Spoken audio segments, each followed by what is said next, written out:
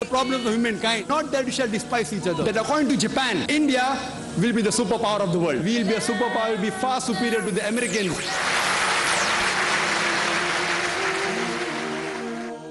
Alhamdulillah. Wassalatu wassalam ala Rasulillah wa ala alihi ashabi ajmain. Amma ba'd. أعوذ بالله من الشيطان الرجيم بسم الله الرحمن الرحيم ومن أحسن قولا ممن دعا إلى الله وعمل صالحا قال إنني من المسلمين رب اشرح لي صدري ويسر لي أمري واحلل عقدة من لساني يفقهوا قولي I welcome all of you to the Islamic greetings. Alaikum wa rahmatullahi wa barakatuh. May peace, mercy, and blessings of Allah subhanahu wa ta'ala be on all of you. If you have any questions on Islam and comparative religion, you're most welcome to ask.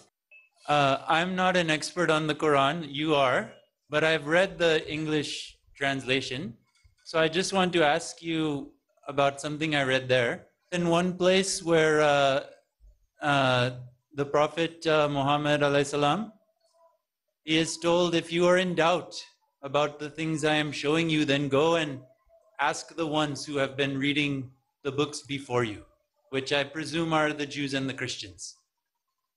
So I was thinking from these verses in the Quran that uh, if the Torah and the Injil and the Zabur are, are the word of Allah and that Muhammad is, is supposed to ask the Jews and the Christians if he's in doubt about what's being revealed to him, then how can how is it that the Bible is possible to be corrupted? Very good question, brother. And Brother David asked a very good question. You told in your question, Allah told Prophet Muhammad, if you don't know, go and see in the books of the Jews. Again, misunderstanding. Now I realize that really you have just read the Quran, not an expert, based on the third question. What Allah is telling, Allah is telling Prophet Muhammad, you ask peace be upon him. You ask the Jews and Christians. If you don't believe, look at your scripture.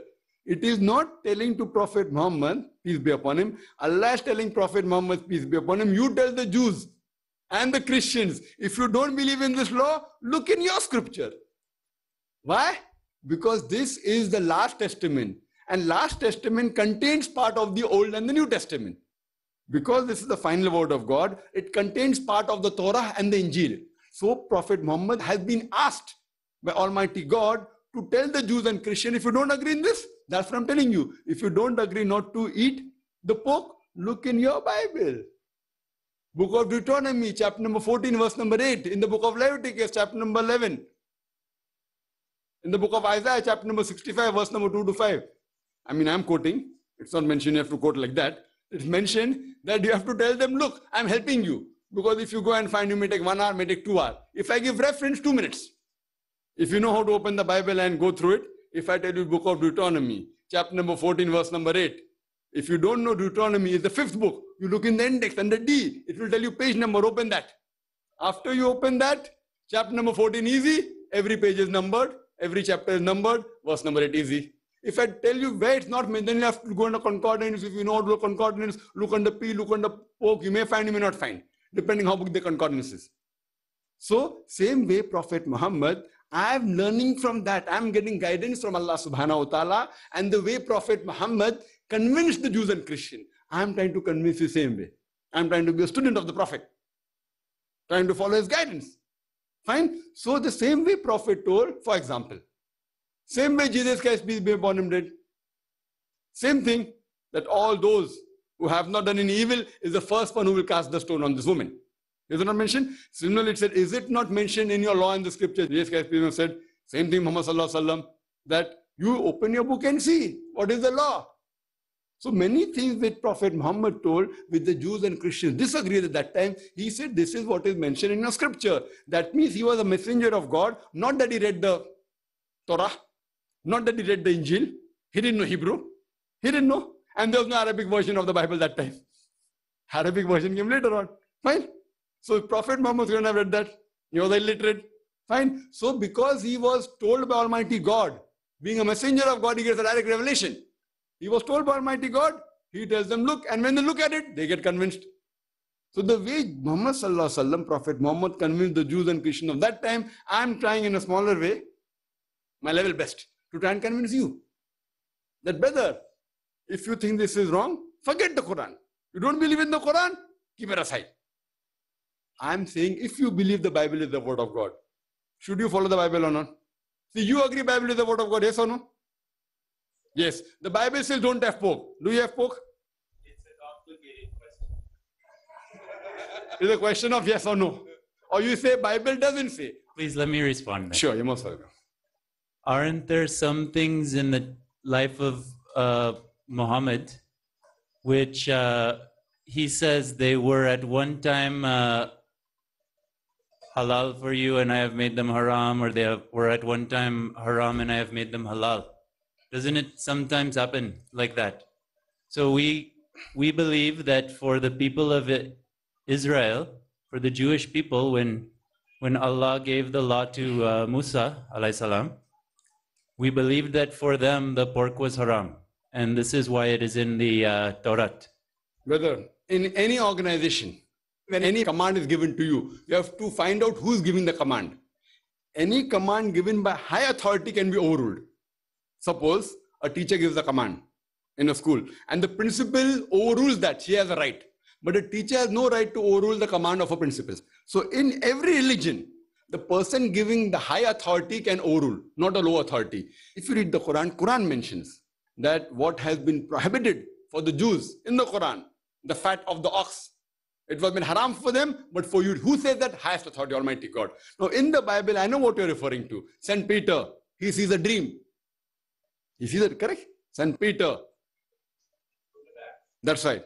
He sees a dream and he sees that the pork is good and eating of pork is there. It's a dream. One thing, whether it be any apostle, whether it be Saint Paul also, the self-appointed apostle of Jesus Christ, peace be upon him, they are not superior to Jesus Christ, peace be upon him. If Jesus Christ, peace be upon him, said in the Gospel of Matthew, chapter number 5, verse number 17 to 20, that think not that I have come to destroy the law of the prophets.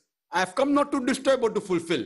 Until the heaven and the earth pass away, not one jot or tittle shall pass away from the law until all be fulfilled. And whosoever shall break one of the least commandments, least jot or tittle, whosoever shall break one of the least commandments and teach men to do so shall not enter the kingdom of heaven. And whosoever shall keep the commandments and teach the same shall enter the kingdom of heaven. Unless your righteousness exceeds the righteousness of the scribes and the Pharisees, in no way shall you enter the kingdom of heaven. So Jesus Christ, peace be upon him, said, I have come not to destroy the law of the prophets, I have come to fulfill. Not one jot or tittle shall pass away until the complete law is fulfilled. If any of you break one law, even a minutest, shall not enter the kingdom of heaven. And this is present in the red letter Bible. If you know what is the red letter Bible, are you aware of red letter Bible? MashaAllah, you, Alhamdulillah, very good. May God bless you. Red letter Bible is a Bible, those people who don't know, it is a red letter means those words which Jesus Christ, peace be upon himself has said. Because everything of the Bible is not the word of Jesus Christ, peace be upon him. In Quran, everything is the word of Allah, of God. 100%. Not one jot or tittle is not the word of Almighty God. Now, in the Bible, those which are the word of God, if you put in a newspaper, it will be less than one page. Just two long columns of a small percentage. It's present in the New Testament, Old Testament is nil. In the New Testament, also mainly in the Gospels, and here are the little bit in Acts, very few. So, if you analyze, it is a very small percentage of the complete Bible. And this portion is that word of Jesus Christ, peace be upon him. No black letter can overrule a red letter. Because red letter is the word of Jesus Christ. Black letter is maybe somebody else. Maybe apostle, maybe historian, maybe XYZ, maybe narration. No black letter can overrule a red letter. Why? Red letter is Jesus Christ, peace be upon him. Unless you consider Paul, Peter, Thomas higher than Jesus Christ, no. So in Islam also, we have Almighty God. We have a Prophet Muhammad. We have our Sahaba as companions. How you have apostles, we have companions. You have the followers of Jesus Christ, we have companions of Prophet Muhammad. But no companion. If you show me the companion has spoken against Prophet Muhammad, throw away that word. Prophet Muhammad, number one in the human beings. After Allah, Prophet Muhammad, number one. Then comes the Sahaba. So there is a gradation. No word of the Sahaba can overrule the word of the Prophet. Never. In every religion, there is hierarchy. The word of God cannot be overruled by the word of the messenger. The word of the companions of the messengers can never overrule the word of the prophet. So what you're quoting me is lower grade. Right or wrong, we'll discuss later on. what you're saying is right or wrong is different. But even if I agree it is right, what you're saying, it is a black letter. Right? So no black letter can overrule red letter if you know, if you are a scholar of Bible, you'll know. If you're not a scholar of Bible, and if somebody has told you, so that was finishing a third part of the question. Now the main question is remaining of your earlier question. Fine? No, no, I'll give you all the time. I'll just finish the. I will finish my answer and then I'll get back. No problem. Even if the others don't get a chance, we'll give it. You're a guest, brother. You're a guest, and we love to speak with you. But let me finish your earlier question.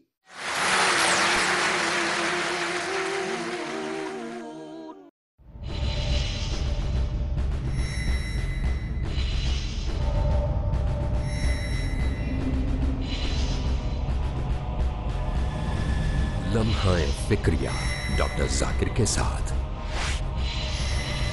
सबसे ज़्यादा फ़ायदेमंद तिजारत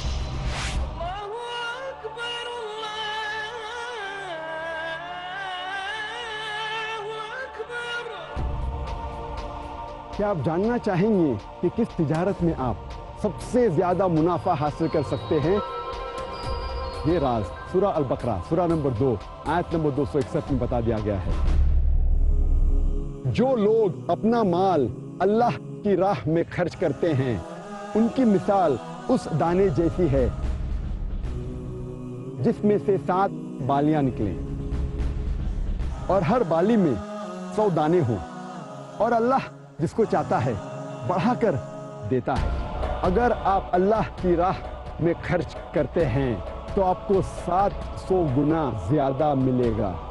तिजारत की जबान में आप पाएँगे सत्तर हज़ार फ़ीसद मुनाफा। क्या आप किसी ऐसी तिजारत के बारे में जानते हैं, जिसमें आपको इतना मुनाफा मिले? आज ही आप अल्लाह की राह में अपना माल लगाइए।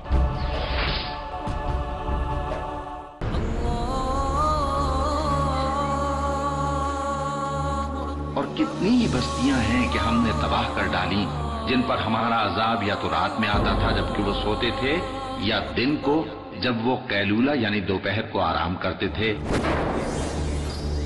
वो कौन से इसबाब थे जिनकी वजह से अल्लाह ताला ने मुख्तलिफ़ कौमों को हलाक किया? वो कौन कौन से तरीके थे जिनके ज़रिए अल्लाह ताला ने मुख्तलिफ़ कौमों को हलाक किया? हलाक शुदा कौमों के आवाम का और उनके हुक्मरानों का क्या जुर्म था? इन सवालात का जवाब हासिल करने के लिए पीस टीवी उर्दू पर देखिए मेरा प्रोग्राम, चंद हलाक शुदा कौमें। और जिन लोगों ने हमारी आयतों को झुटलाया, उनको हम बतदरीज इस तरह पकड़ेंगे कि उनको मालूम ही नहीं होगा।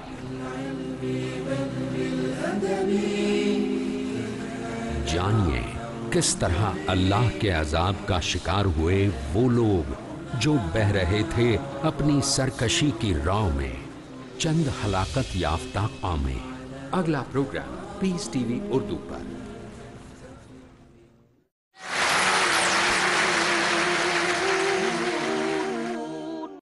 After the third question you posed, that is it not possible that why are comparing Quran? The Bible is right and Quran is wrong. You didn't use the word Quran wrong. You were very humble and appreciate that.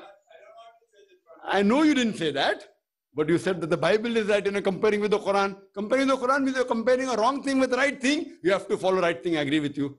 But is the Bible right? Is the question. I've given a separate talk. Is the Quran God's word? And any person who's unbiased, who even doesn't know much about the Quran. But when I've given the talk along with the question and answer session for approximately four hours, any unbiased person will see the talk. I've proved it logically with reason, logic, and science that Quran is the word of God. I've given the talk, is the Bible God's word? And use the same logic here. There are so many contradictions in the Bible. I don't want to quote them. According to an article, more than 50,000 errors. I don't want to go into that. Which you have read, I don't know. All Muslims book, I don't agree to be correct. Yes, if it's the Quran, I agree with it. I stand by it. If you name the book, may agree with, may not agree, may agree with part of it, may not agree with part of it. So first, highest authority. Number one, Quran. Even if in my book, this is more superior than my book also. Number one, Quran. Then comes the sayings of the Prophet, the Sahih one. Coming back to your question. So when we use simple logic, when we use science, we find there are so many scientific errors in the Bible. I'll just give you a few samples. Time doesn't permit us to go into the great detail. For example, the Bible says in the Gospel of Matthew, chapter number 4, verse number 8, that the world is flat. It's mentioned in the book of Genesis, chapter number 1, verse number 16 to 19. It speaks about the creation of the universe, that there was no light. God said there was light, first day, second day, third day. Then it comes and it says on the fourth day. On the fourth day, God Almighty, He created the sun and the stars. And the light was created on the first day. It's illogical. The source of light came later on, and the light came earlier. If I say that I made a bulb and I switch on the bulb and then there was light, then I said the light came on the first day in the first hour and the bulb was switched on on the fourth hour. People will think I don't know science well. Furthermore, it is mentioned the creation of the earth on the third day and the vegetation. And the sun was created on the fourth day. Now, earth is a part of sun in science.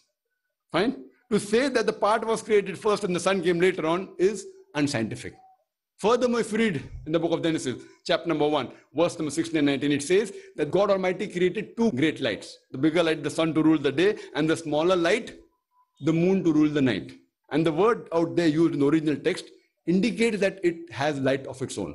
The Quran says, Surah Furqan, chapter number 25, verse number 61, that the light of the sun is its own light and the light of the moon is reflected light. So if a scientist reads the Quran and the Bible, he will agree with the Quran but not the Bible. The light of the moon is not its own light. Previously, a few hundred years back, we thought the light of the moon was its own light. Today we know that the light of the moon is not its own light, it's a reflected light.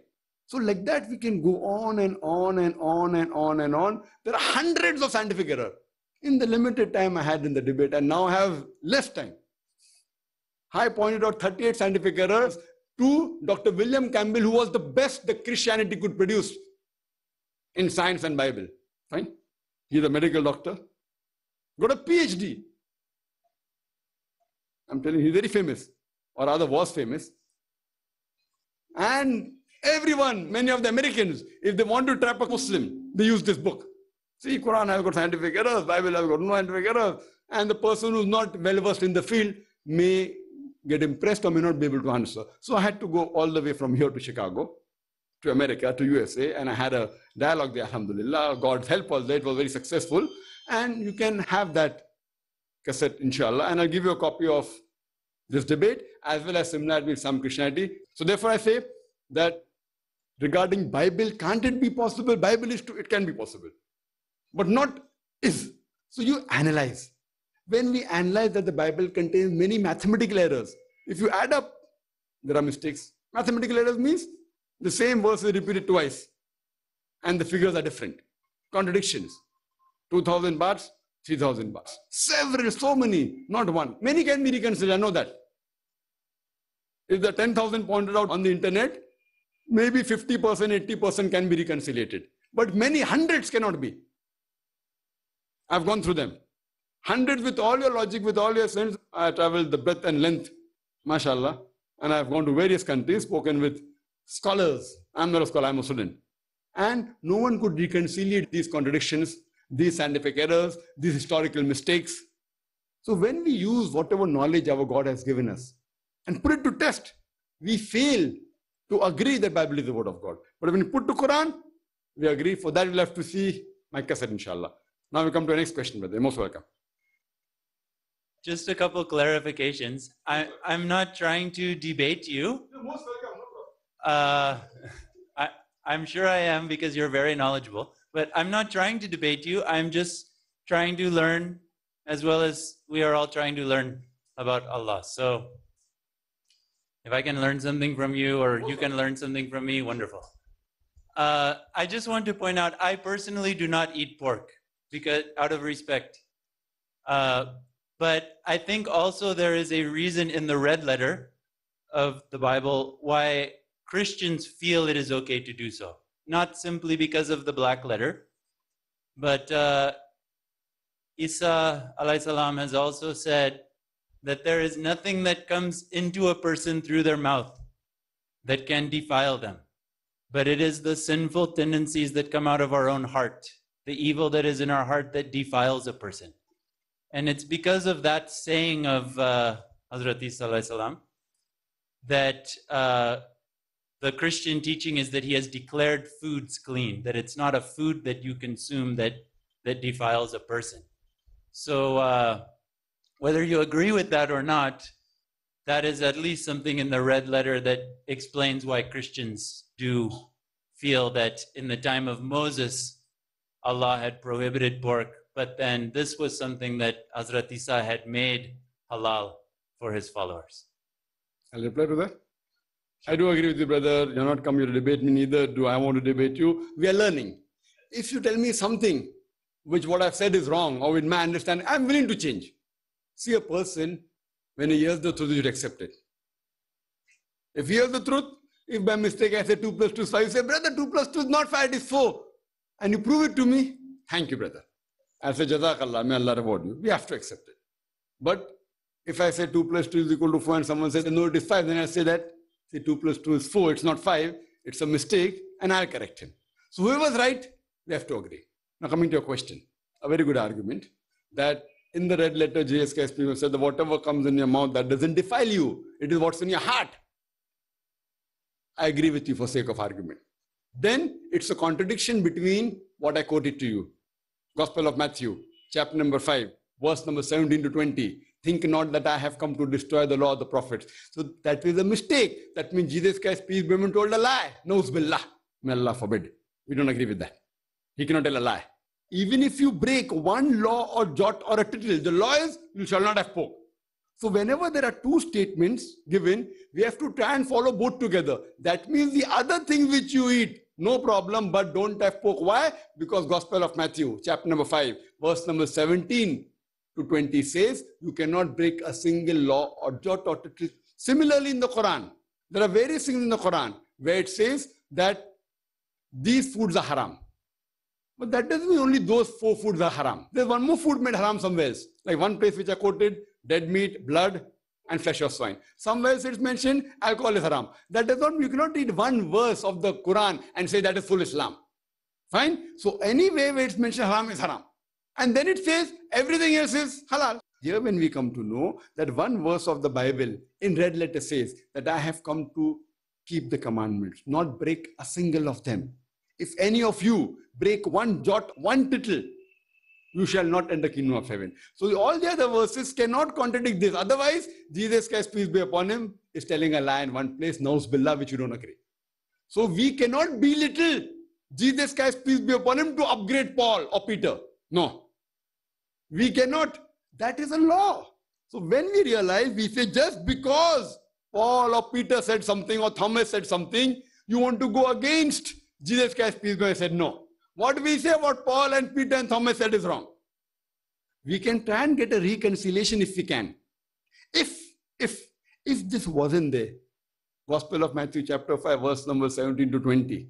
If it wasn't there, don't make law or tittle. Maybe, maybe, not for sure. I can give you other arguments against that. Time is limited. I put my S in the front. Maybe if this verse wasn't yes, brother, very good, I agree with you. But because this verse is there, Gospel of Matthew chapter 5, verse 17 to 20, if you break one law, one jot or tittle, you shall not enter the kingdom of heaven. Then you cannot. Under any circumstances, whether Paul says that, Thomas says that, or Peter says that, or anyone says that. You understand? This is how you understand logically. So what you are doing just to upgrade Paul, you means I'm talking about some of the Christians. When I say you means Christian. To upgrade one of the apostles, you're belittling that Jesus Christ, God forbid, told a lie, which I cannot agree.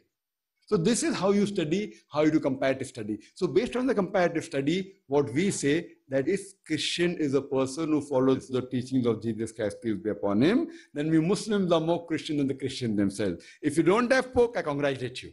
Maybe after you go out of this auditorium, if you're having alcohol, you stop having alcohol. If you're worshipping Jesus Christ, peace be upon him, maybe after you leave this auditorium, you will stop worshipping Jesus Christ, peace be upon him as God. So we pray to Almighty God to give you and me guidance.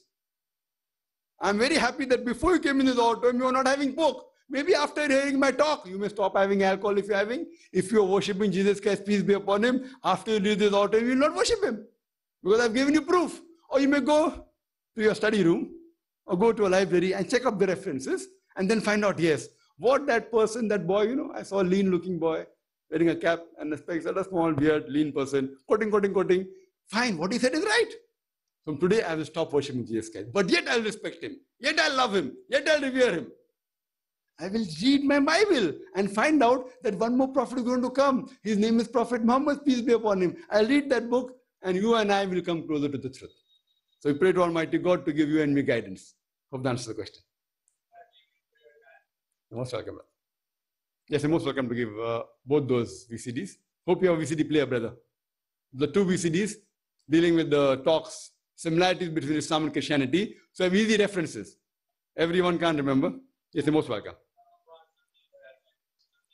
Sure, sure. You're most welcome. وآخر دعوانا الحمد لله رب العالمين. فيا رب إنك أنت السلام منك السلام إليك السلام. فيا رب إنك أنت السلام. منك السلام إليك السلام. لأمرك يرجع أمر الأنام. بين